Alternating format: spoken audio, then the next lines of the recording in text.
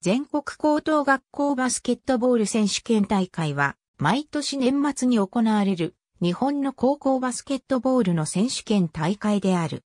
この全国高等学校バスケットボール選手権大会は、全国高等学校総合体育大会バスケットボール競技大会、国民体育大会バスケットボール競技と並ぶ最重要大会として認知されている。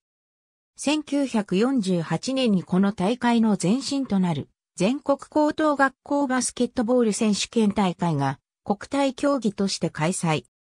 1951年に国体から分離され1963年にインターハイが開始されると、インターハイ内の一競技となり2016年までこの大会が全国高等学校バスケットボール選手権大会を兼ねていた。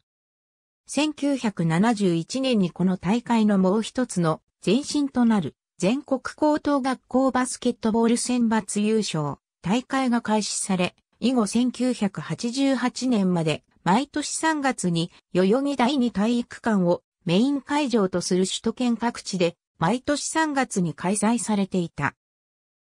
当時テレビ中継していたテレビ朝日の編成上の都合などにより1988年より12月開催へと移行した。12月開催になったことにより、高校3年生に出場資格がある最後の大会となり、さらにウィンターカップという愛称で呼ばれるようになった。1994年の第25回より東京体育館が会場として使用され始める。諸事情により1988年春開催の第18回大会や2012年開催の第43回大会など、東京以外で開催した年もあるが、基本的には東京都内で開催していた。長年にわたって夏の選手権大会、秋の国体バスケ少年の部、年末の選抜優勝大会が高校バスケの主な全国大会であったが、日本バスケットボール協会の方針転換により2017年度より以下の変更がなされることになった。このような方針が示され、2017年度より実施されている。これにより新たに誕生したのが党大会である。このような経緯から大会の回数は選手権大会のものを受け継いでいるが、大会の愛称、ウィンターカップと出場、優勝回数は選抜優勝大会のものを受け継いでいる。またこの改革により、当大会が名実ともに高校バスケ界の最高峰の大会となった。なお2018年度と19年度は東京体育館が改修のため18年度は武蔵野の森総合スポーツプラザで大体開催され、ソフトバンクが特別協賛し、ソフトバンクウィンターカップ2018として行われた。第72回大会より前回大会まで開催されていた3位決定戦の実施はなくなった。各都道府県大会の優勝校及びインターハイ優勝、準優勝校が出場する。さらに第72回大会より各ブロック選手権の優勝所属都道府県が1枠、増枠されて60校で行われる。大会の優勝校には、高松宮記念杯、同飛記念杯、高体連、ジャバより、プレート、ウィンターカップ、協会杯、全国高体連バスケットボール部杯、朝日新聞社杯、日刊スポーツ新聞社杯、ウィニングボールなどが授与。第32回からは、日本文化出版、月刊バスケットボールにより、感動大賞が創設されている。インターネット投票により、大会を通じて最も印象に残ったチーム、個人を決めて表彰する制度である。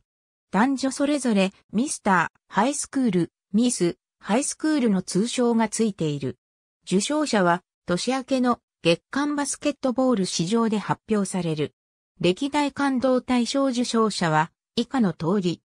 第47回から日本文化出版月間バスケットボールと日本バスケットボール協会によるコラボ企画最優秀応援賞が創設されている。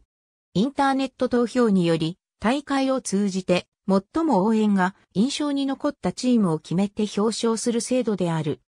受賞チームは男子決勝戦終了後及び月間バスケットボール市場で発表される。歴代最優秀応援賞チームは以下の通り。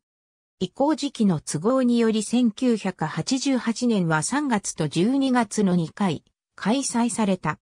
ウィンターカップ2017平成29年度第70回全国高等学校バスケットボール選手、県大会公式試合玉に、モルテン、GL7X、GL6X が決定。日本バスケットボール協会。2017年8月21日閲覧。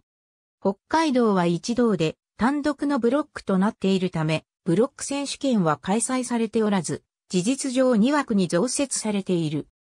テレビ放送、インターネット配信ウィンターカップ2017、ウィンターカップ2019大会概要、バスケットライブ、スポーツナビで実況、解説がつくのは、主にセンターコートで開催される試合。両サイトでサイマル配信。ウィンターカップ男女決勝が BS 富士にて生放送決定。J スポーツとスポナビライブは全試合を中継バスカットボールキング2017年11月28日、名古屋短期大学附属日本文化出版では、高校バレーボールに大大会でも同様の感動対象を創設している。ありがとうございます。